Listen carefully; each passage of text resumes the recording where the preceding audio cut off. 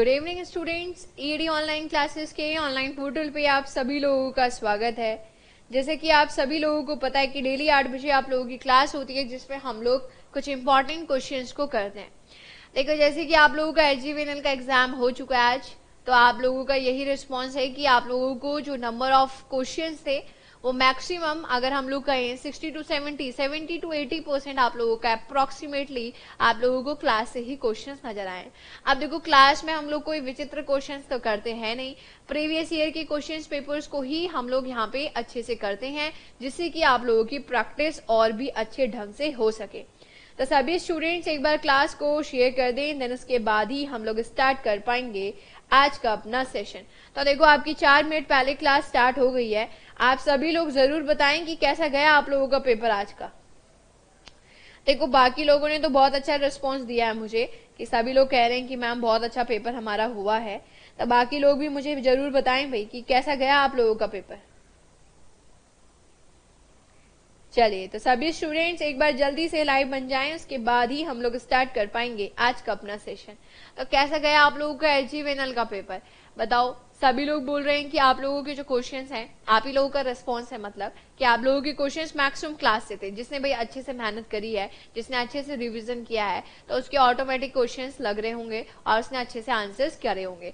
आने वाले टाइम में टीएसडीसी का पेपर आप लोगों का है राइट और इसी तरीके से आने वाले टाइम में और भी आप लोगों को एग्ज़ाम नज़र आएँगे तो आपने अच्छे से मेहनत अपनी बरकरार रखनी है। अब देखो वैकेंसी कब आएगी कब आएगी, काफ़ी स्टूडेंट्स ऐसे बोलते हैं। तो आप वैकेंसी की टेंशन ना लो वैकेंसी जितनी भी आएगी, आपकी अगर मेहनत अच्छी होगी, आप उसी वैकेंसी में अपनी एक सीट पक्की कर दोगे। बाकी देखो, जितने स्टूडेंट्स ये पूछ रहे हैं कि मैम अगर हमें कंटेंट प्रिपेयर करना है तो हम क्या करें? तो देखो, आप लोगों के लिए, क्योंकि यूट्यूब में मैक्सिमम स्टूडेंट्स क्वेश्चंस करने के लिए ही आते हैं प्रैक्टिस करने के लिए आते हैं बेसिकली थ्योरी पढ़ने नहीं आते हैं। तो आप लोगों के लिए सेपरेट अलग अलग बैचेस बनाए हैं, जिस भी एग्ज़ाम की आप प्रिपेयर कर रहे हैं। जैसे कि एस एस जेई को प्रिपेयर कर रहे हो यूके पी एस को प्रिपेयर कर रहे हो, ठीक है? तो इनके लिए अलग अलग बैचेस है, जिसमें कि जिस एग्ज़ाम की जो रिक्वायरमेंट है, जैसे अगर एग्ज़ाम हिंदी पूछ रहा है तो आपको हिंदी भी पढ़ाई गई है। अगर एग्ज़ाम आपसे अंग्रेज़ी पूछ रहा है इंग्लिश पूछ रहा है तो आपको इंग्लिश भी पढ़ाई गई है। तो आप सेपरेट सेपरेट बैचेस के साथ जा सकते हैं। और एक और गुड न्यूज़ है आप लोगों के लिए कि एक नवंबर को आपके सभी सिविल इंजीनियरिंग के कोर्सेज में 70 टू 80 परसेंट तक का डिस्काउंट है। तो अगर आप लोग इंटरेस्टेड हो तो आप 70 से 80 परसेंट तक के डिस्काउंट का फ़ायदा उठा सकते हो। अगर फाइनेंशियली भी अगर कोई प्रॉब्लम है, वैसे तो देखो प्राइस वैसे भी कम है, लेकिन आप लोगों के लिए एक नवंबर को दीपावली गिफ्ट के तौर पर आप लोगों के लिए प्राइस और ज़्यादा कम हो जाएँगे। तो सभी लोगों को गुड इवनिंग कैसे हैं आप सभी लोग? भाई पेपर कैसा गया? पहले तो ये बता दो आप लोग. पेपर कैसा करके आए? एच जी का पेपर बताएँ भी सभी लोग एच जी जेई का पेपर कैसे करके आए? क्लास से ही क्वेश्चन देखने को मिले थे. तो धुआँ धुआँ कर दिया होगा फिर तो आप लोगों ने. सारे सही करके आए होगे. देखो, यही बात होती है कि कितना सही करके आए. बाकी तो देखो पेपर पड़ा हुआ तो लग ही रहा होगा. बताएँ भाई सभी लोग, आप लोग रिस्पॉन्स ही नहीं कर रहे चलिए, फिर उसके बाद तुरंत एक मिनट के बाद हम लोग क्लास को स्टार्ट करते हैं। तुरंत एक मिनट के बाद हम लोग क्वेश्चन में चलते हैं। तो आप लोगों को पता है डेली हम लोग 35 से फोर्टी क्वेश्चन के बीच में करते हैं। वन बाय वन क्वेश्चंस को आंसर करोगे आप लोग और देखोगे कि कल की क्लास में जितनी गलती करी थी, आज की क्लास में कितनी गलती कम हो रही है। या सेम गलती आप रिपीट कर रहे हो। ये चीज़ें आप लोगों ने अपने आप में देखनी है, अपने आप को एनालाइज करना है। मैम अच्छा गया पेपर चलो भाई, बहुत अच्छी बात है। आप लोगों ने कह दिया पेपर अच्छा गया, इसका मतलब आप करके आए तो देखो, ये क्लास है, आप लोगों की 52 लेक्चर्स में पहुँच चुकी है। एकदम जेई स्पेशल क्लास है। बिल्कुल स्पेशल ही है ये। चलिए तो आठ बज चुके हैं। स्टार्ट करते हैं क्लास को फ़र्स्ट क्वेश्चन के साथ। देखो भाई 35 से 40 क्वेश्चन के बीच में सामने आएँगे। देखो कि कितने करेक्ट कर पा रहे हो। What does bentonite contain predominantly bentonite में मुख्य रूप से क्या होता है? मोरिलोनाइट होता है केउलिनाइट होता है, इलाइट होता है, या नन ऑफ़ दीज को आप लोग यहाँ पर मार्क करोगे। सभी लोग रिस्पॉन्स करें भाई, इस क्वेश्चन का आप लोगों के अकॉर्डिंग क्या आंसर जाना चाहिए? What does bentonite contain predominantly bentonite में मुख्य रूप से क्या होता है?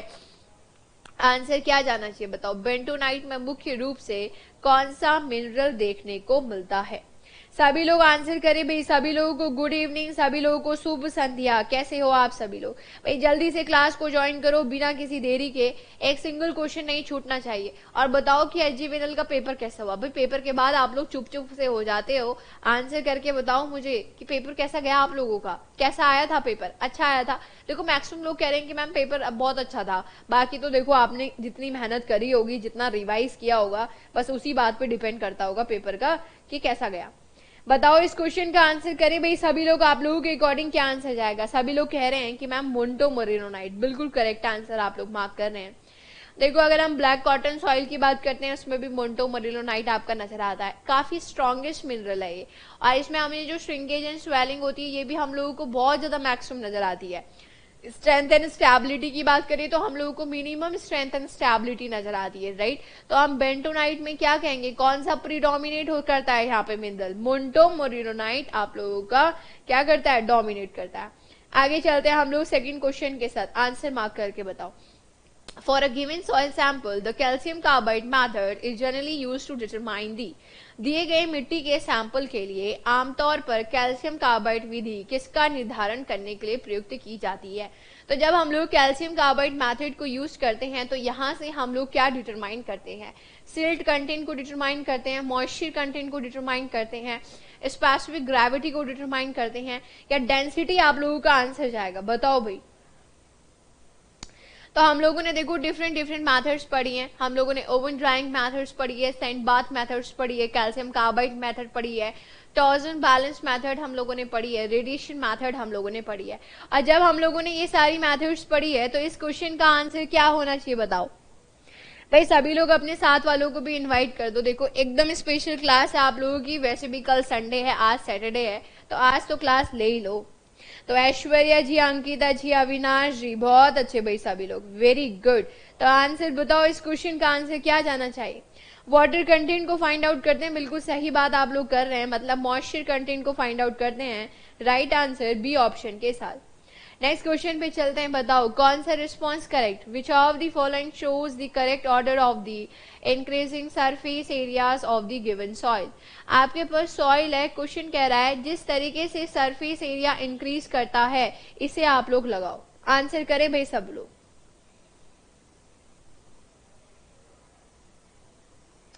आंसर करें भाई सभी लोग। गुड इवनिंग भाई सभी लोगों को गुड इवनिंग और सभी लोग अपने साथ वालों को भी इनवाइट कर दो जल्दी से क्लास में, जिससे कि एक अच्छा कंपटीशन नज़र आए क्लास में आज। बताओ, इस क्वेश्चन का आंसर आप लोगों के अकॉर्डिंग क्या होगा? देखो, अगर हम लोग स्पेसिफिक सरफेस की बात करें या सरफेस एरिया की बात करते हैं तो हम लोग कहते हैं, हमारे पास शॉर्टकट आता है सिक्स अपॉन डी हम लोग कहते हैं, जितना कम ग्रेन साइज़ होगा, उसमें सरफेस फोर्सेस उतने ही ज़्यादा लगेंगे। जैसे अगर हम सेंट ग्रेवल्स में चलें कोहेजन लेस सॉइल में चलें तो हमें पता है ग्रेन साइज़ हमारा अच्छा खासा हमें देखने को मिलता है। तो हम कहते हैं इसमें सरफेस फोर्सेस कम लगते हैं, आपके ग्रेविटेशनल फोर्सेस ज़्यादा लगते हैं। अब जब ऐसा इसने कहा ही है तो यहाँ पे आपको इंक्रीजिंग में कौन सा नज़र आ रहा बताओ? आंसर करे भी सभी लोग। आप लोगों के अकॉर्डिंग क्या आंसर जाना चाहिए? सभी स्टूडेंट्स अपनी प्रेजेंस को ज़रूर मार्क करें। वीडियो को लाइक ज़रूर करो आप लोग और क्वेश्चन का आंसर करके बताओ।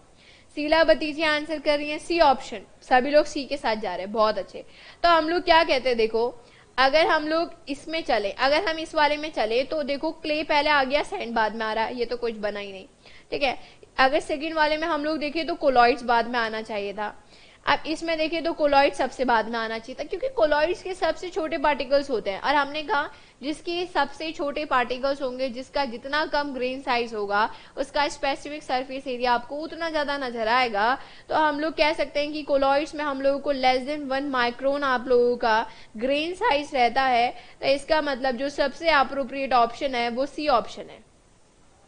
सैंड में सबसे कम आपका सरफेस फोर्सेस हमारे लगेंगे। सरफेस एरिया सबसे कम नज़र आएगा। उसके बाद सिल्ट में, उसके बाद क्लेम है और सबसे ज़्यादा हमें कोलॉइड्स में नज़र आएगा। बात समझे? ठीक है तो सभी लोग अच्छे आंसर कर रहे हैं। आगे चलते हैं फोर्थ क्वेश्चन के साथ। Liquefaction process is generally seen in which type of soil द्रवीकरण प्रक्रिया सामान्यतः किस प्रकार की मृदा में देखने को मिलती है? इस क्वेश्चन को आंसर करो। मैम इंजीनियरिंग ड्राइंग कब से स्टार्ट होने जा रहा है? भाई, किसकी बात कर रहे हो आप लोग? इलेक्ट्रिकल के स्टूडेंट्स कह रहे हैं क्या ऐसा? इलेक्ट्रिकल के स्टूडेंट्स की तो आप लोगों की जो सेपरेट बैचेस बने हैं, जैसे कि यूपीपीसीएल जेई का जो बैच है, उसमें चल रही है ईडी यूट्यूब में नहीं चल रही भाई ईडी इस क्वेश्चन को आंसर करके बताओ। डेविड जी दिनेश जी अंकिता जी, सभी लोग अच्छे आंसर्स करते हुए वेरी गुड सभी लोग भाई क्लास को भी शेयर करें। जितने नंबर ऑफ़ स्टूडेंट्स क्लास में ज़्यादा होंगे, उतना अच्छा कंपटीशन नज़र आएगा। बताओ लिक्विफिकेशन प्रोसेस का मतलब क्या होता है? जब सॉइल आपकी लिक्विड की तरह बिहेव कर रही है, या हम ये कहें सॉइल की शेयर स्ट्रेंथ क्या हो चुकी है? एकदम वो लूज कर चुकी है अपनी शेयर स्ट्रेंथ तो ऐसा हमें किसमें नज़र आएगा? तो जनरली लिक्विफिकेशन फिनोमिना कह दो क्विक सेंड कंडीशन कह दो, ये सब चीज़ें हम लोगों को किसमें नज़र आती हैं? राइट right आंसर बताओ, क्या जाना चाहिए? यस लूज सैचुरेटेड सेंट जाएगा आपका आंसर ऑप्शन नंबर सी आप लोगों का करेक्ट आंसर आगे चलते हैं नेक्स्ट क्वेश्चन के साथ. जब सिलिका आपके बहुत ही ज़्यादा आपके अर्थ पार्टिकल्स के बीच में है ठीक है?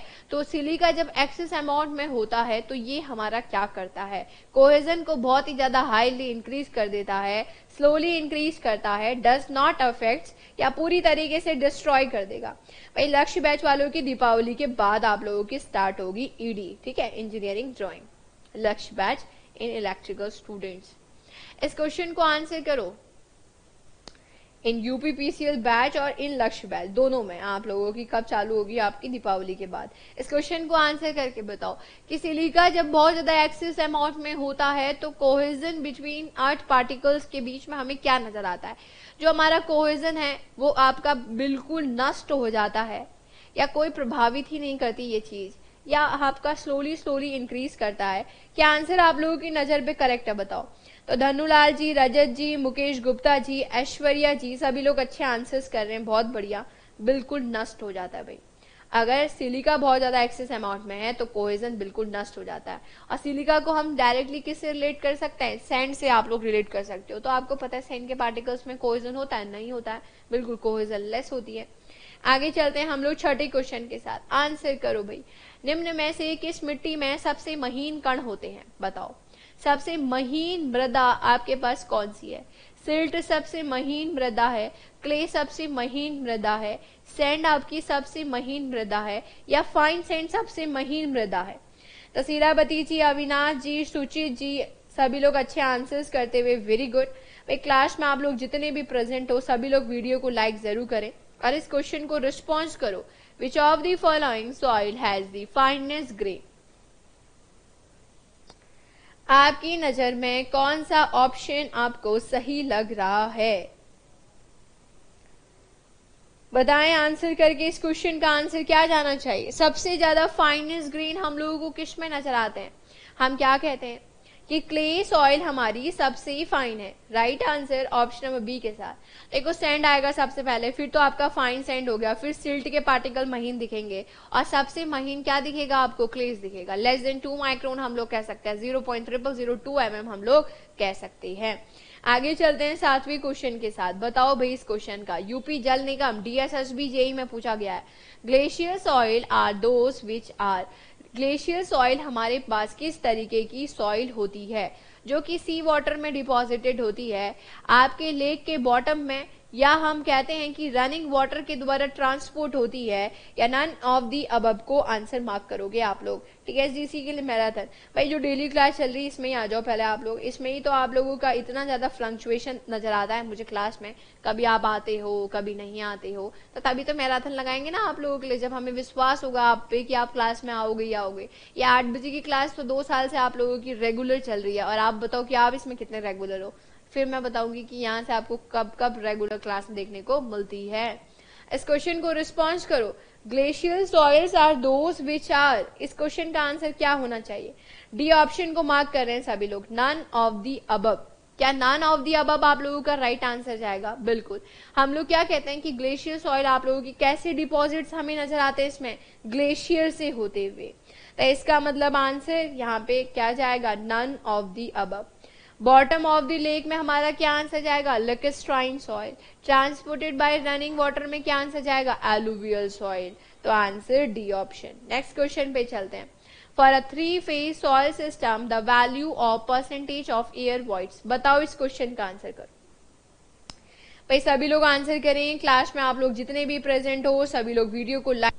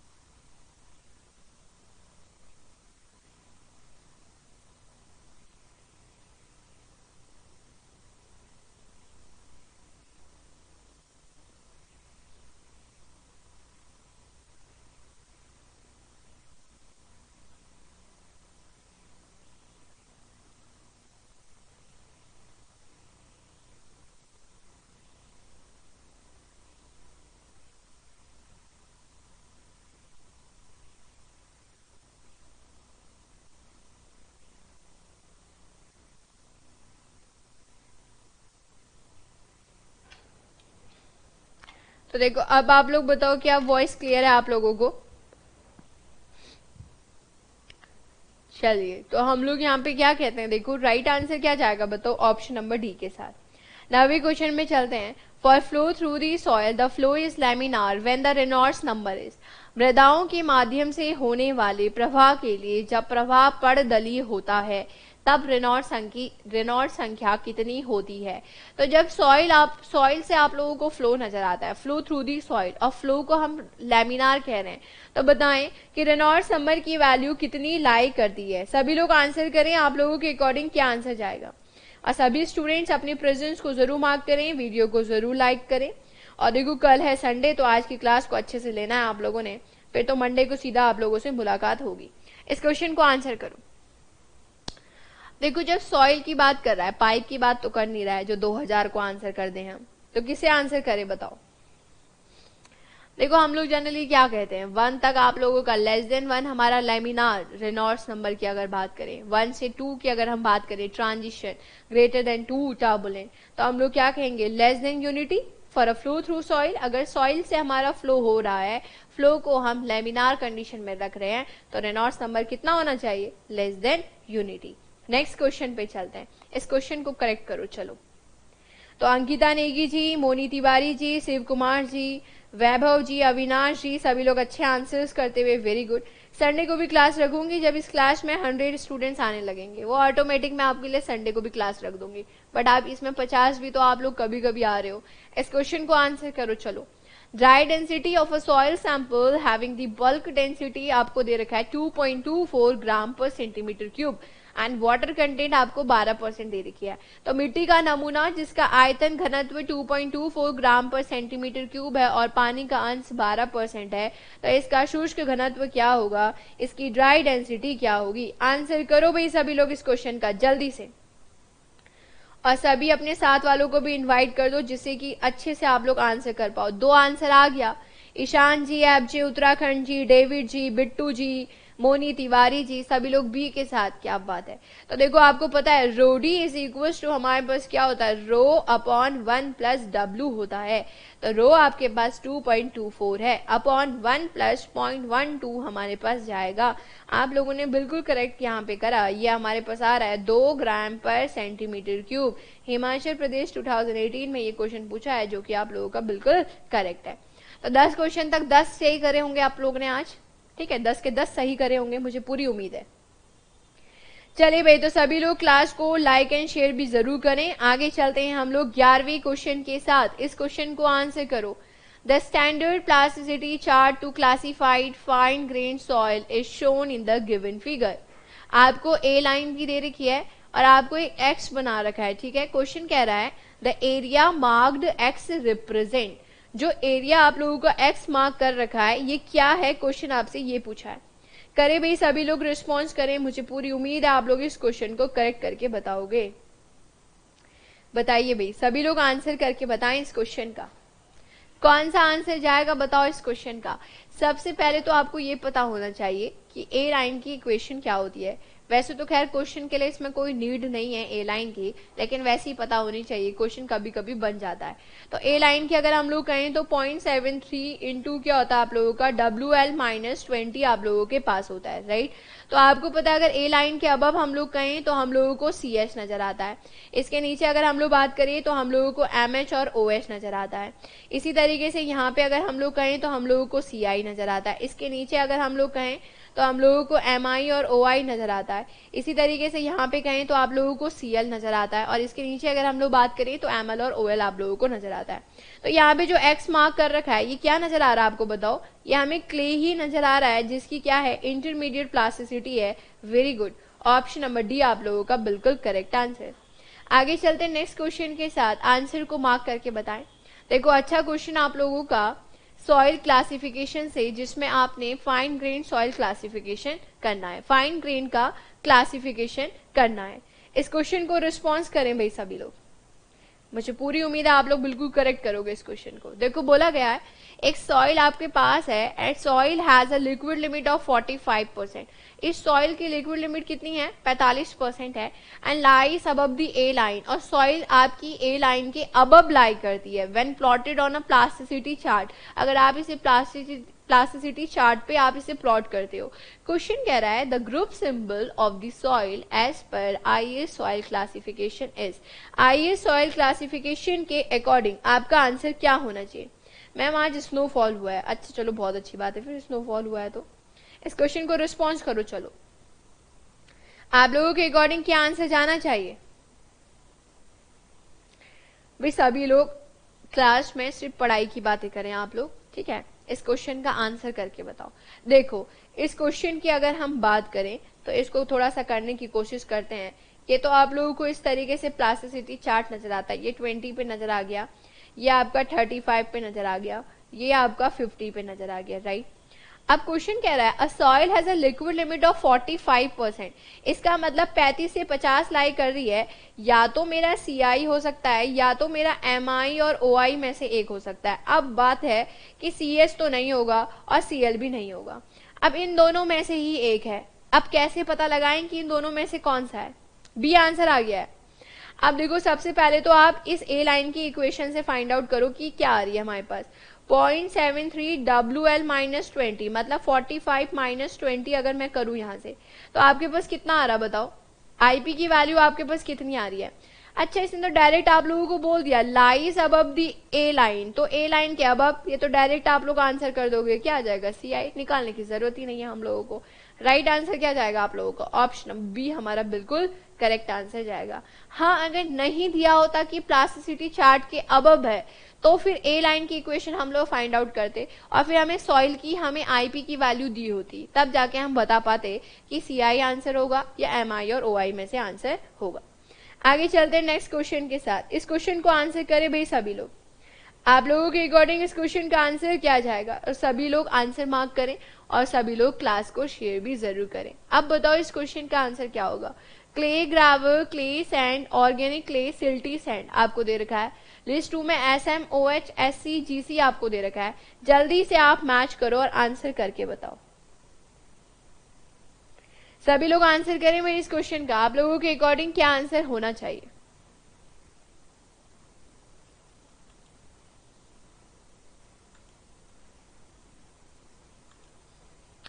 आप लोगों के अकॉर्डिंग बताएँ। आंसर क्या होना चाहिए? Clay gravel clay sand organic clay silty sand आप लोगों के पास है। तो आपके अकॉर्डिंग इस क्वेश्चन का आंसर क्या जाना चाहिए? आप मैच करो और आंसर करके बताओ। देखो, अगर क्ले ग्रेवल है तो ग्रेवल का जी पहले आप लोग लिखोगे क्ले को बाद में लिखोगे मतलब सी को बाद में लिखोगे। क्ले सैंड है तो आप एस को पहले लिखोगे और सी को बाद में लिखोगे। ऑर्गेनिक क्ले है, इसका मतलब सी को पहले लिखोगे और ओ को बाद में लिखोगे, ऐसा कुछ। ठीक है सिल्टी सैंड है तो एस पहले लिखोगे एम बाद में। तो बताओ फिर कौन सा ऑप्शन करेक्ट लग रहा है आप लोगों को इस क्वेश्चन का? सभी लोग आंसर करें। भैया, आप लोगों के अकॉर्डिंग थर्टीन क्वेश्चन का आंसर क्या जाना चाहिए? सी ऑप्शन करेक्ट लग रहा है। बिल्कुल सही बात। देखो, अगर हम क्ले ग्रावल की बात करते हैं तो जीसी आप लोगों का आंसर चला जाएगा। क्ले सैंड की बात करते हैं तो आपका एस सी आंसर चला जाएगा। ऑर्गेनिक क्ले की बात करते हैं तो आप लोगों का आंसर चला जाएगा। सिल्टी सैंड की बात करते हैं तो आपका ए ऑप्शन चला जाएगा। इसका मतलब सी ऑप्शन बिल्कुल करेक्ट आंसर आगे चलते हैं फोर्टीन क्वेश्चन के साथ। आंसर को मार्क करके बताओ। The standard plasticity chart by Casagrande classify fine grain soil is shown in the figure आपके पास स्टैंडर्ड प्लास्टिसिटी चार्ट है, जिसमें लिक्विड लिमिट और प्लास्टिसिटी इंडेक्स के बीच में देखो आप लोगों को इस तरीके से ग्राफ दिया है। क्वेश्चन कह रहा है the area marked P represent ये जो एरिया आप लोगों का मार्क कर रखा है पी ये क्या रिप्रेजेंट करता है? बताओ, क्या रिप्रेजेंट करता है ये? चलिए, सभी लोग आंसर करें और क्लास में आप लोग जितने भी स्टूडेंट्स प्रेजेंट हैं, सभी लोग वीडियो को लाइक ज़रूर करें और इस क्वेश्चन को रिस्पॉन्स करके बताएँ कि ये पी हमारा क्या इंडिकेट करता है। तो देखो, अगर हम इस पचास से ज़्यादा में बात करते हैं तो ये सी एच हो गया आप लोगों का। ये हमारा हो गया एम एच और ओ एच में से कुछ भी हो सकता है राइट ये आपका सी आई हो गया। और ये नीचे अगर हम बात करें तो एम आई और ओ आई में से कुछ भी हो सकता है। यहाँ पे अगर हम बात करें तो ये आपका सी एल और इसके नीचे अगर हम बात करें तो एम एल और ओ एल में से कुछ भी हो सकता है। तो क्वेश्चन आप लोगों से बोला गया है, ये standard plasticity chart by Casagrande to classify the fine grain soil fine grain soil के क्लासिफिकेशन में आप लोगों से बोला गया है। क्वेश्चन कह रहा है, जो ये पी मार्क किया गया है, जो ये एरिया आप लोगों का मार्क किया गया है पी से, ये क्या रिप्रेजेंट करता है? क्वेश्चन आपसे ये पूछा है। आंसर करो भाई, सभी लोग सभी लोग आंसर करें, सभी स्टूडेंट्स अपनी प्रेजेंस को ज़रूर मार्क करें। बताएँ 14 क्वेश्चन का आंसर आप लोगों के अकॉर्डिंग क्या जाना चाहिए? 14 का ए जा रहा है inorganic clay of high plasticity ऐसा। श्योर वेरी गुड 14 क्वेश्चन का आंसर आप लोगों का क्या जाएगा? Inorganic clays of high plasticity right answer A option के साथ। आगे चलते हैं नेक्स्ट क्वेश्चन के साथ। देखते हैं इस क्वेश्चन को कौन आंसर करते हैं। इसके लिए मैं आप लोगों को दो मिनट का टाइम देती हूँ। आराम से सोचो, समझो, विचार करो, उसके बाद आंसर करके बताओ इस क्वेश्चन का। देखते हैं कौन इस क्वेश्चन का राइट आंसर करके बताते हैं। सभी लोग आंसर करें भी तो अंकिता नेगी जी, डेविड जी, अविनाश जी, धनुलाल जी, सभी लोग अच्छे रिस्पॉन्स करते हुए शिव कुमार जी, ब्रजेश कुमार यादव जी, अंकिता नेगी जी वेरी गुड इस क्वेश्चन को आंसर करो। देखते हैं आप लोग क्या आंसर कर पाते हो इस क्वेश्चन का। देखो, यहाँ पे बोला गया इन अ सॉइल स्पेसिमेन अगर हम सॉइल स्पेसिमेन की बात करते हैं 70 परसेंट पार्टिकल्स आपके पास हुए हैं 4.75 पॉइंट ISC से, और 40 परसेंट आपके पार्टिकल्स पास हुए हैं 75 माइक्रोन आईएससी से जब 40 परसेंट पार्टिकल आपके पास हुए हैं 75 माइक्रोन आईएससी से तो इसका मतलब हम कह सकते हैं कि more than 50 percent particles are retained on 75 micron ISC right इसका मतलब कि हमारे मोर देन 50 परसेंट पार्टिकल्स क्या है? रिटेन करते होंगे 75 माइक्रोन आईएससी से। तो इसका मतलब ये कोर्स ग्रेन सॉइल है, ये तो श्योर है। आपको ऑप्शन से भी समझ में आ रहा है कि ये कोर्स ग्रेन सॉइल ही है। अब कोर्स ग्रेन सॉइल में ये ग्रेवल है या सैंड है, ये कैसे पता लगाए? बी आंसर कर रहे हो। जीपी अब चलो, अब सुनो। ठीक हो गया। ये तो हमें पता लग गया कि अब हम, अब हमारे पे है कि या तो ये सैंड पे आएगा या तो ये ग्रेवल में आएगा। कोर्स ग्रेन सॉइल तो क्लियर हो गया किससे? 75 माइक्रोन आईएससी से। अब बात आती है, ये कह रहा है कि 70 percent particles are passing through the 4.75 mm सबका गलत है जो ग्रेवल में आंसर कर रहे हैं। जब चार दशमलव सात पाँच एम एम से more than fifty percent particles pass हो रहे हैं। इसका मतलब ये क्या है? सैंड है। मतलब ग्रेवल वाले तो ऑप्शन से आप क्या कर लो? क्रॉस कट कर लो। भाई, जितने भी ये बी और डी कर रहे हैं ना, इसका मतलब आपको क्लासिफिकेशन आपने पढ़ा ही नहीं सॉइल का। अब हमारे पास दो ऑप्शन है। ये क्लियर हो गया यहाँ से। 70 परसेंट पार्टिकल 4.75 पॉइंट एम से पास कर जा रहे हैं। तो जब हम कहते हैं मोर देन 50 परसेंट पार्टिकल अगर पास कर जाते हैं 4.75 पॉइंट से, इसका मतलब सेंड की बात हो रही है। अब सेंड में ये एच है, ये एस डब्ल्यू है, बताओ क्या है ये? अब देखो, अब यहाँ से ये क्लियर हो रहा है कि coefficient of uniformity greater than eight है। लेकिन एक और चीज़ भी क्लियर हो रही है। कोफिशियंट ऑफ़ कर्वेचर सीसी की वैल्यू आपकी वन से थ्री के बीच में लाई करती है कब? जब वेल ग्रेडेड सॉइल होती है। तो फिर कैसे पोअरली आंसर कर सकते हो इसका? तो आंसर क्या जाएगा? एस डब्ल्यू आंसर जाएगा। ऑप्शन नंबर सी आप लोगों का करेक्ट आंसर अब आठ से यूनिफॉर्मिटी कोफिशियंट ग्रेटर है तो आपको तो ऐसा भी पता है ना कि ग्रेटर देन फोर में हमारे पास वेल ग्रेडेड होता है। ग्रेटर देन सिक्स में हम लोग यूनिफॉर्मली ग्रेडेड पे चलते हैं राइट पोअरली ग्रेडेड पे चलते हैं। लेकिन फिर एक और चीज़ भी तो दे रखी है कि कोफिशियंट ऑफ़ कर्वेचर आप लोगों का दो है। तो वेल ग्रेडेड सॉइल के लिए तो वन से थ्री लाई करता है। इसका मतलब मोर अप्रोप्रिएट आंसर बताओ कौन सा है? एस डब्ल्यू है बताओ, इस क्वेश्चन को कैसे गलत कर दिया भाई आप लोगों ने? आधे स्टूडेंट्स तो क्लास से गायब हो गए, वो सोच रहे कहाँ से ऐसा क्वेश्चन आ गया जो कि हमें नहीं आ पा रहा। इस क्वेश्चन को रिस्पॉन्स करो, बताओ। The permeability of cohesive soil is best determined by using संसर्जक मृदा की पारगम्यता को किस प्रयोग द्वारा ज्ञात किया जाता है? तो जब हम कोहेसिव सॉइल की परमिबिलिटी को फाइंड आउट कर रहे हैं, इसको हम बेस्ट तरीके से कैसे डिटरमाइन करते हैं? फॉलिंग हेड परमीटर से हम लोग इसे डिटरमाइन करते हैं कांस्टेंट हेड परमीटर से हम लोग इसे डिटरमाइन करते हैं ऑडोमीटर से हम लोग इसे डिटरमाइन करते हैं, या नन ऑफ़ दीज को आप लोग यहाँ पे आंसर मार्क करोगे। सभी लोग आंसर करें, भाई आप लोगों के अकॉर्डिंग क्या आंसर जाएगा? और सभी स्टूडेंट्स अपनी प्रेजेंस को ज़रूर मार्क करें। आप लोगों के अकॉर्डिंग इस क्वेश्चन का आंसर क्या जाना चाहिए? करो भाई इस क्वेश्चन का आंसर क्या आंसर होगा बताओ? आकाशदीप घोष जी, शिव कुमार जी, धनुलाल जी, सौरभ सिंह जी, सतीश भारद्वाज जी, अविनाश जी वेरी गुड ऐश्वर्या जी, अंकिता जी, बहुत अच्छे। तो देखो, आप लोगों को पता है, अगर हम लैब में प्रैक्टिकल कर रहे हैं तो लैब में हमारे लिए कोहेसिव सॉइल के लिए, अगर हम कहें तो एक मेथड होती है, जिसे हम फॉलिंग हेड मेथड कहते हैं। फॉलिंग हेड परमीमीटर मेथड कहते हैं, या हम इसे वेरिएबल हेड परमिबिलिटी टेस्ट भी कह सकते हैं। आगे चलते हैं हम लोग 17 क्वेश्चन के साथ which of the following statement is the correct आपके अकॉर्डिंग यहाँ पर कौन सा स्टेटमेंट करेक्ट है? अगर यूनिट वेट आप लोगों का ग्रेटर होगा तो परमिबिलिटी ग्रेटर होगी। यूनिट वेट आपकी परमिबिलिटी में किसी भी तरीके का कोई इफ़ेक्ट प्रोवाइड नहीं करता, या सी ऑप्शन को मार्क करोगे, या डी के साथ।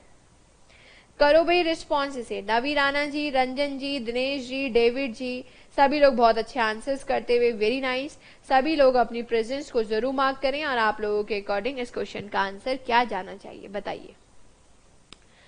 तो देखो, अगर आपने एक फॉर्मूला पढ़ा है पढ़ाई होगा आप लोगों ने कि के इज़ इक्वल टू हमारे पास होता है C into gamma W upon mu होता है into E cube upon one plus E होता है, और इंटू हमारे पास डी स्क्वायर होता है।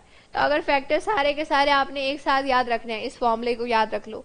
तो परमिबिलिटी हमारी देखो यूनिट वेट पे भी डिपेंड करती है, हमारी विस्कोसिटी पे भी डिपेंड करती है वॉइड रेशियो पे भी डिपेंड करती है, और हमारे ग्रेन साइज़ पे भी डिपेंड करती है। तो इसका मतलब आंसर क्या जाएगा बताओ? The greater is the unit weight and the greater is the permeability बिल्कुल सही बात। ऑप्शन नंबर ए आप लोगों का बिल्कुल करेक्ट आंसर आगे चलते हैं अठारहवें क्वेश्चन के साथ। आंसर करो।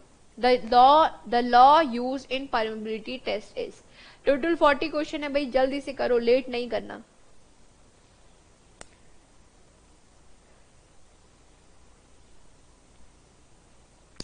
आंसर करो इस क्वेश्चन का। परमिलिटी टेस्ट में हम लोग जनरली कौन से लॉ को यूज़ करते हैं? देखो, अगर हम पंपिंग आउट टेस्ट का डेरिवेशन कर रहे हैं, या हम कांस्टेंट हेड परमिलिटी टेस्ट का डेरिवेशन कर रहे हैं, चाहे फिर हम लोग वेरिएबल हेड परमिलिटी टेस्ट का डेरिवेशन कर रहे हैं, चाहे हम किसी भी टेस्ट का डेरिवेशन कर रहे हैं। हम लोग बेसिकली कौन से लॉ को यूज़ करते हैं? यस yes, हम लोग डार्सीज लॉ को बेसिकली यूज़ करते हैं। Right answer option number C के साथ। आगे चलते हैं नेक्स्ट क्वेश्चन के साथ। An overall value of the coefficient of permeability of a soil deposit for a large area may be determined by मृदा के बड़े क्षेत्रफल के लिए पारगम्यता गुणांक की पूर्णता राशि को निकाला जा सकता है। अगर हमें कोफिशियंट ऑफ़ परमिबिलिटी की वैल्यू बहुत ही लार्ज एरिया के लिए फाइंड आउट करनी है तो हम लोग यहाँ पे कौन सी मैथड को बेसिकली यूज़ करते हैं? क्वेश्चन आपसे ये पूछ रहा है। सभी लोग आंसर करके बताएँ भाई, आप लोगों के अकॉर्डिंग इस क्वेश्चन का आंसर क्या जाना चाहिए? सभी लोग आंसर करके बताएँ, इस क्वेश्चन का आंसर आप लोगों के अकॉर्डिंग क्या जाएगा?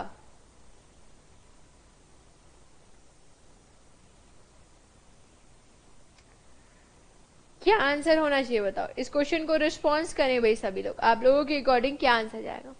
तो देखो constant head and variable head permeability test की अगर हम बात करते हैं तो ये लैब में आप लोगों का बेसिकली यूज़ होता है।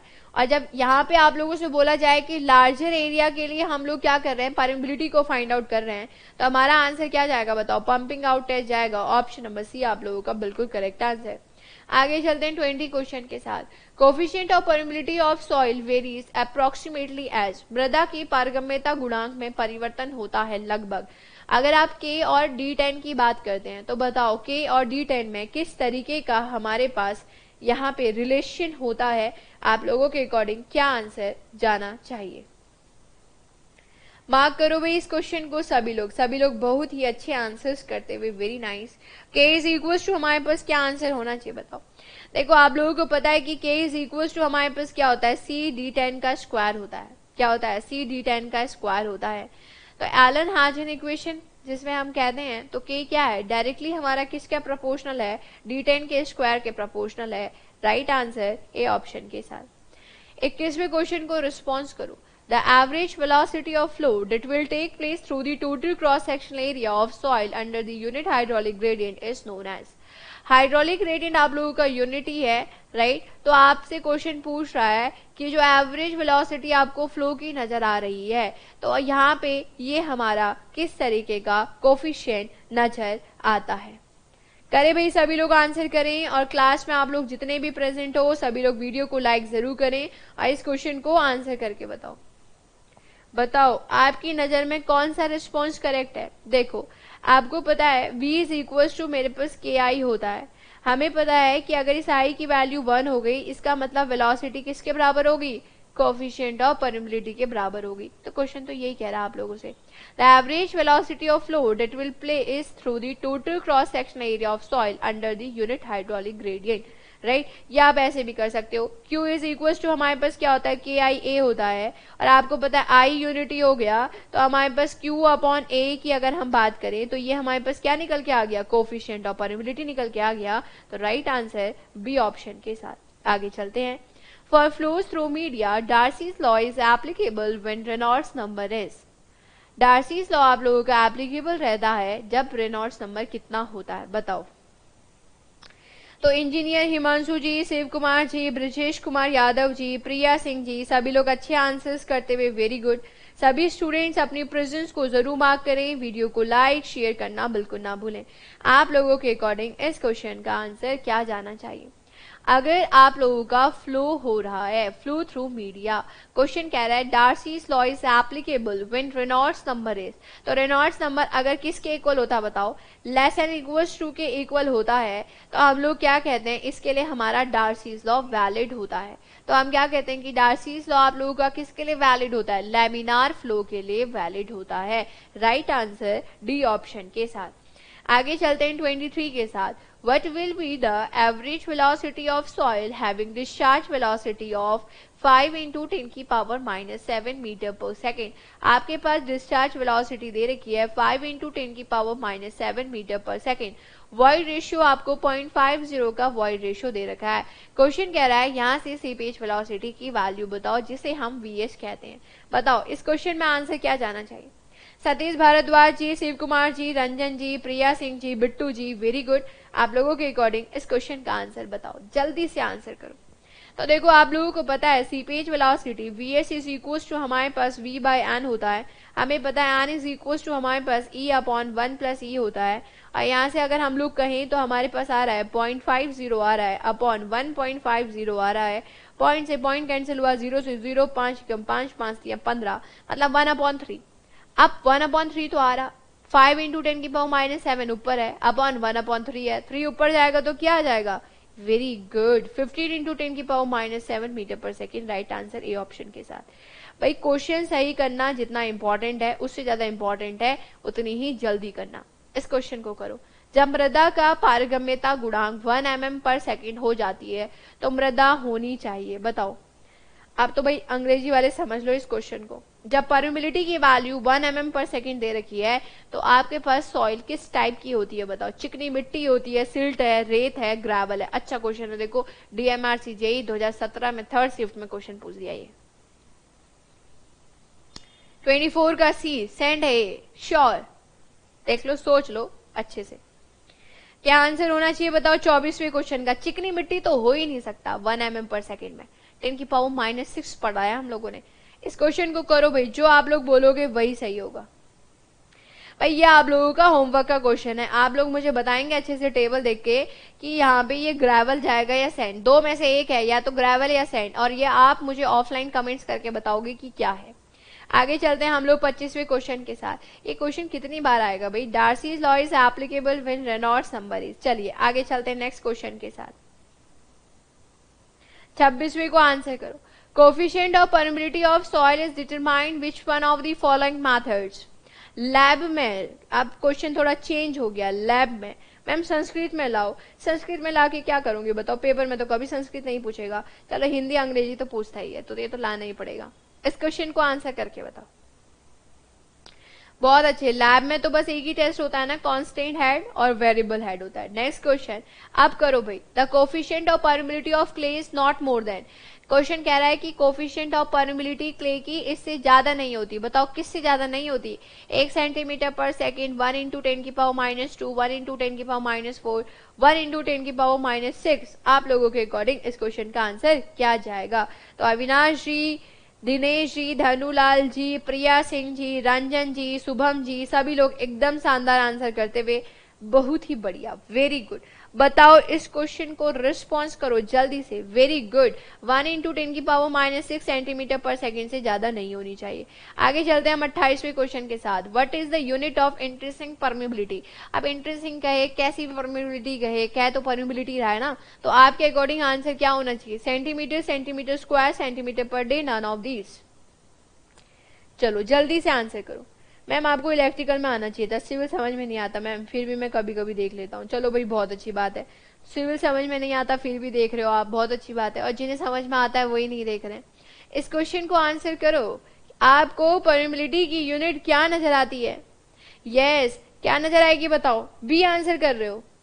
अट्ठाईसवे का।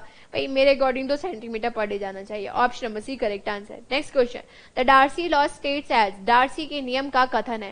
देखो भाई, उत्तराखंड जेई पेपर 2015 में पूछ दिया, उसके बाद तो पेपर ही नहीं हुआ उत्तराखंड में। वैकेंसी ही अटक गई अब तो। अब बताओ, चलो फिर। आप लोग इस क्वेश्चन का आंसर करके बताओ।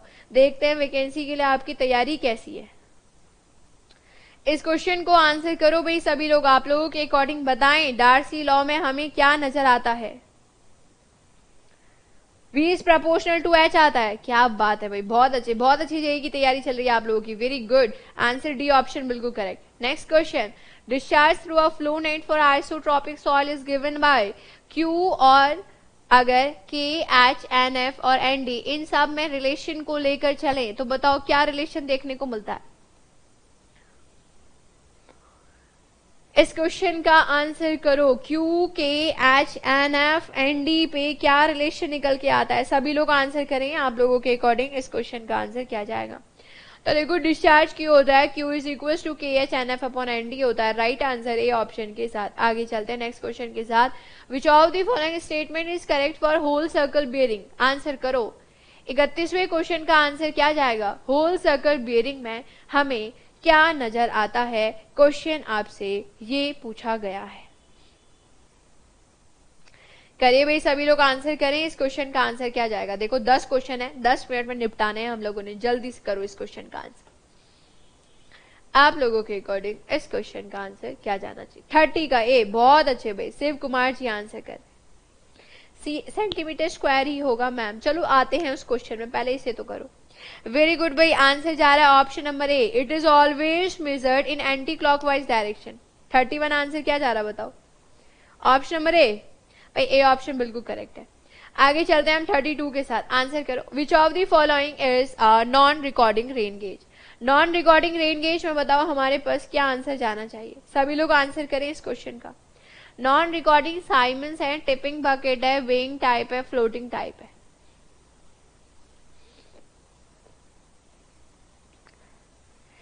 देखो भाई थर्टी वन को एक मिनट करेक्ट करना आप लोग। देखो, अगर हम लोग कहें एंटी क्लॉकवाइज डायरेक्शन से ज़्यादा, यहाँ पे जो आप लोगों का करेक्ट ऑप्शन जाएगा, वो जाएगा ऑप्शन नंबर डी ठीक है, इसको देखो करेक्ट करते हुए चलना आप लोग। ठीक है, यहाँ पे जो करेक्ट आंसर आप लोगों का जाएगा, वो जाएगा it is always measured from north end of the reference north end को रेफरेंस मान के हम होल सर्कल बियरिंग को करते हैं। आगे चलते हैं। इस क्वेश्चन को रिस्पॉन्स करो। Which of the following is non recording rain gauge इसमें से नॉन रिकॉर्डिंग रेन गेज कौन सा है? आंसर करो भाई इस क्वेश्चन का सभी लोग। आप लोगों के अकॉर्डिंग क्या आंसर जाएगा? तो देखो, जब हम नॉन रिकॉर्डिंग रेन गेज की बात करते हैं तो नॉन रिकॉर्डिंग रेन गेज में हमारा कौन शामिल रहता है? साइमेंस रेन गेज रहता है। मैं आज बहुत गलत बता रही हूँ। और बताना कौन सा क्वेश्चन आप लोगों को गलत बताया? एक इंटरेस्टिंग परमिबिलिटी को हमने रोका है। बाकी तो देखो, सारे क्वेश्चन सही बता रखे मतलब मौका चाहिए बोलने का आप लोगों को। इस क्वेश्चन का आंसर क्या जाएगा बताओ? साइमंस रेन गेज जाएगा राइट आंसर ऑप्शन नंबर एक करेक्ट आंसर आगे चलते हैं थर्टी थ्री इस क्वेश्चन को रिस्पॉन्स करो. The entrance length for fully developed turbulent flow is जब हम टाबुलेंट फ्लो की बात करते हैं तो यहाँ पे एंट्रेंस लेंथ क्या होती है? इस क्वेश्चन को आंसर करके बताओ. सभी लोग आंसर करें इस क्वेश्चन का. आप लोगों के अकॉर्डिंग क्या आंसर होना चाहिए? मार्क करके बताओ. थर्टी थ्री का आंसर क्या जाना चाहिए? बताओ। L is equal to fifty D जाएगा आप लोगों का। एल आपका पॉइंट सेवन वन डी जाएगा। L zero point zero five D जाएगा। Twenty three point five D जाएगा। और मुझे ये भी पता रहता है कि आप किस डिफरेंट डिफरेंट आईडी से क्लास में आप लोग पधारते हो। मुझे ये भी सब पता है। इस क्वेश्चन को आंसर करो भाई सभी लोग। आप लोगों के अकॉर्डिंग इस क्वेश्चन का आंसर क्या जाना चाहिए? सभी लोग आंसर करें आप लोगों के अकॉर्डिंग क्या आंसर जाएगा? बताएँ। इस क्वेश्चन का आंसर क्या होना चाहिए बताओ। तो देखो 33 की अगर हम बात करें तो आपकी एंट्रेंस लेन जाएगी ऑप्शन नंबर ए आप लोगों का बिल्कुल करेक्ट आंसर आगे चलते हैं। Non acid resistant asbestos is बताओ। नॉन एसिड रेजिस्टेंट एसबेस्टोज कौन सा नज़र आता है? ट्रीमोलाइट एसबेस्टोस नज़र आता है क्राइसोटाइल एसबेस्टोस नज़र आता है एमोसाइट एसबेस्टोस नज़र आता है। या नॉन ऑफ़ दीज आपका आंसर जाएगा। बताओ, इस क्वेश्चन को रिस्पॉन्स करो। Non acid resistant asbestos is इस क्वेश्चन का आंसर बताओ, क्या जाना चाहिए? सभी लोग आंसर करें भाई, इस क्वेश्चन का आंसर आप लोगों के अकॉर्डिंग क्या होना चाहिए? तो देखो नॉन एसिड रेजिस्टेंट एस्बेस्टोज इसकी अगर हम बात करें तो इसे हम लोग क्या बोलते हैं? क्राइसोटाइल एस्बेस्टोज बोलते हैं। Right answer option number B के साथ। आगे चलते हैं हम लोग 35 के साथ। रिस्पॉन्स करो। The projecting ornamental course at the junction of a wall and ceiling wall and ceiling के बीच में जो हमारा प्रोजेक्टिंग ऑर्नामेंटल कोर्स होता है, इसे हम क्या कहते हैं? कोपिंग कहते हैं, कॉबल कहते हैं, कॉर्नस कहते हैं, क्या पैरापेड कहते हो? इस क्वेश्चन को रिस्पॉन्स करो भाई सभी लोग। थर्टी फोर का आंसर क्या जाएगा? आंसर मार्क करो। आप लोगों के अकॉर्डिंग क्या आंसर होना चाहिए बताओ thirty four sorry thirty five क्या आंसर करोगे? प्रोजेक्टिंग ऑर्नामेंटल बोला गया। तो हम लोग को वॉल एंड सीलिंग में जो प्रोजेक्टिंग नज़र आता है, उसे हम लोग क्या बोलते हैं? कॉर्निश बोलते हैं। आगे चलते हैं नेक्स्ट क्वेश्चन के साथ. In struck pointing the face of the pointing is pointing आप लोग कर रहे हैं, ठीक है? मोटार से आप लोग जॉइंट्स में मसाला फिलअप कर रहे हैं, कहने का मतलब. एकदम फ्लैट होता है फेस पॉइंटिंग का स्लोपिंग आउटवर्ड्स होता है वर्टिकल्स बट प्रेस इनसाइड होता है, या ग्रोव्ड होता है. 36 को रिस्पॉन्स करो भाई. And struck pointing the face of the pointing is क्या आंसर होना चाहिए? मैं आप लोगों के कमेंट्स देख रही हूँ कि आप लोग क्या आंसर करोगे इस क्वेश्चन का। 36 का डी जा रहा है grooved very good D correct होगा। सोच लो पहले। करो भाई आंसर, आराम से करो, चलो।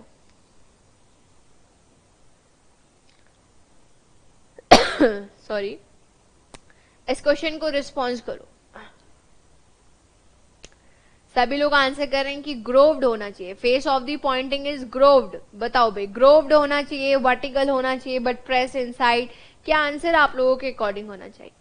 The face of the pointing is और किसमें पूछा जा रहा है, देखो आप लोगों से स्ट्रक पॉइंटिंग में पूछा जा रहा है तो हम कहते हैं sloping outwards right answer option number B के साथ। आगे चलते हैं हम लोग थर्टी सेवन के साथ। The total energy of each particle at various places in the case of perfect incompressible fluid flowing in a continuous stream. तो एक कंटिन्यूस स्ट्रीम में आपका जो फ्लो है इनकम्प्रेसिबल फ्लूड आप लोगों का क्या कर रहा है आपसे क्वेश्चन कह रहा है कि इसमें जो एनर्जी हमें नज़र आएगी टोटल एनर्जी पूछ रहा है, ये आपकी इंक्रीज होती हुई नज़र आएगी डिक्रीज होती हुई नज़र आएगी कांस्टेंट रहेगी या इंक्रीज कर सकती है या डिक्रीज कर सकती है। या अनप्रिडिक्टेबल यहाँ पे आंसर जाएगा। सभी लोग रिस्पॉन्स करें भाई, इस क्वेश्चन का आंसर आप लोगों के अकॉर्डिंग क्या होना चाहिए? हाँ जी, देखो, मौसम बदल रहा है, ठीक है? तो तबीयत खराब हो रही है, सही कह रहे हो आप बिल्कुल, ठीक है? तो चलो, आप लोग भी अपना ख्याल रखना और मैं भी अपना ख्याल रखूँगी। इस क्वेश्चन को रिस्पॉन्स करो। तो देखो थर्टी सेवन का आंसर क्या जाना चाहिए बताओ? थर्टी सेवन का आंसर जाएगा रिमेज कॉन्स्टेंट एनर्जी आप लोगों की क्या रहेगी? रिमेज थर्टी एट को आंसर करो। The ratio of limiting friction and normal reaction is known as limiting friction और नॉर्मल रिएक्शन के बीच में जो रेशियो नज़र आता है, इसको हम लोग क्या कहते हैं?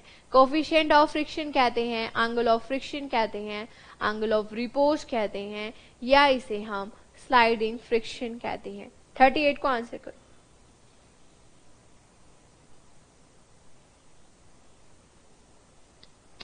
करे भाई आंसर करो। Limiting friction and normal reaction का जो रेशियो नज़र आता है, इसको हम लोग क्या बोलते हैं?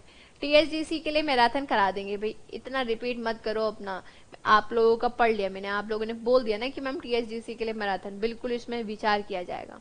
तो बबलू कुमार जी, सतीश भारद्वाज जी, शुभम जी, डेविड जी, नवी राणा जी, धनुलाल जी, राहुल राजपूत जी, सभी लोग अच्छे अच्छे आंसर्स कर रहे हैं। वेरी नाइस बताओ, इस क्वेश्चन का आंसर आप लोगों के अकॉर्डिंग क्या जाना चाहिए? भाई 38 का राइट आंसर जा रहा है coefficient of friction option number A आप लोगों का करेक्ट आंसर 39 पे अगर हम बात करें तो इस क्वेश्चन को आंसर करो। Independent displacement components at each joint of rigid jointed plane frame are independent displacement component जो हम लोगों को रिजिड जॉइंटेड प्लेन फ्रेम में नज़र आते हैं, इसके हर एक जॉइंट में हमें क्या नज़र आता है? थ्री लीनियर मूवमेंट्स नज़र आते हैं। Two linear movements and one rotation नज़र आता है। One linear movement and two rotation नज़र आते हैं। या थ्री रोटेशन नज़र आता है। बताओ थर्टी नाइन का आंसर क्या जाएगा? तो थर्टी नाइन का आंसर जाएगा आप लोगों का टू लीनियर मूवमेंट्स नज़र आते हैं और एक वन रोटेशन हम लोगों को नज़र आएगा। रिजिड जॉइंटेड प्लेन फ्रेम में इंडिपेंडेंट डिस्प्लेसमेंट कंपोनेंट की अगर हम बात करें। आगे चलते हैं। आज का लास्ट क्वेश्चन आप लोगों की स्क्रीन पे, ऐसी window a window that projects outside the external walls of the room is ऐसी विंडो जो कि आपकी जो बाहर की दीवार है, उसके आउटसाइड में प्रोवाइड कराई जा रही है।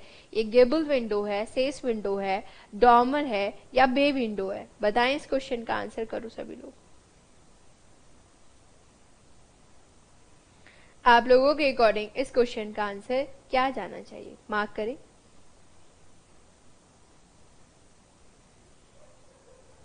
फोर्टी का ए गेबल विंडो फोर्टी का सी डॉमर विंडो अच्छा जी डॉमर विंडो भाई स्लोपिंग रूफ में प्रोवाइड होती है। इस क्वेश्चन को आंसर करें भाई सभी लोग। भाई सतीश भारद्वाज जी का सबसे पहले आंसर आ रहा है bay window A window that projects outside the external walls of the room is bay window. Option number D, आप लोगों का करेक्ट आंसर ठीक है? तो ऑप्शन नंबर डी आप लोगों का करेक्ट आंसर तो यहाँ पे 40 क्वेश्चन आपके ओवर होते हैं। आज के 40 क्वेश्चन में एक क्वेश्चन आपको होमवर्क दिया है और इंट्रेंसिंग परमिबिलिटी का आप लोग बोल रहे हो, वो मैं आप लोगों को बता दूँगी। अब बताओ कि उसके अलावा आपको कौन सा क्वेश्चन गलत लगा, जो आप बोल रहे हो कि मैम आज बहुत गलत बता रहे आप। बस एक क्वेश्चन थोड़ा सा गलत हो जाए और आपका वो ठीक हो जाए, फिर तो आप लोगों ने यही बोलना है कि सभी गलत हो रहा है। चलिए तो देखो, एक इंपॉर्टेंट इन्फॉर्मेशन यूकेपीएससी यही 2021 का बैच सिविल इंजीनियरिंग स्टूडेंट के लिए 15 सितंबर से ये लॉन्च हो चुका है। इसमें इंग्लिश जीके जीएस हिंदी के साथ साथ आपको सिविल इंजीनियरिंग कराई जा रही है। तो आपको पता है एक्सपेक्टेड एग्ज़ाम डेट आपकी जनवरी का मंथ है। आगे चलते हैं, देखो जेई फाउंडेशन बैच ये पूरी तरीके से आप लोगों का अब कन्वर्ट हो चुका है। एसएससी जे लाइव लेक्चर्स के थ्रू कराया जा रहा है। इसी तरीके से ड्राफ्टमैन एंड सर्वेयर लास्ट आठ साल के बाद ये वैकेंसी आपके सामने है तो इसमें आप लोगों को अच्छे से ड्राफ्टमैन सर्वेयर को टारगेट करते हुए चीज़ों को कराया जा रहा है। डेली आप लोगों की इसमें भी लाइव क्लासेस होती है। नेक्स्ट देखो, लक्ष्य बैच लक्ष्य बैच की तो बात ही one course for all exam सारे एग्ज़ाम्स को टारगेट करने के लिए आप लोगों के सामने एक सिंगल बैच है, लक्ष्य बैच जिसमें कि आप लोगों को वैलिडिटी आपको लाइफ टाइम की वैलिडिटी मिलेगी। आप लोग कभी भी क्या देख सकते हो? वीडियो लेक्चर्स को देख सकते हो। मैम कल के पाँच क्वेश्चन अभी बाकी हैं। अब कितना कराओगे बताओ? आज पाँच एक्स्ट्रा करके तो आपके चालीस क्वेश्चन लेके आई थी मैं।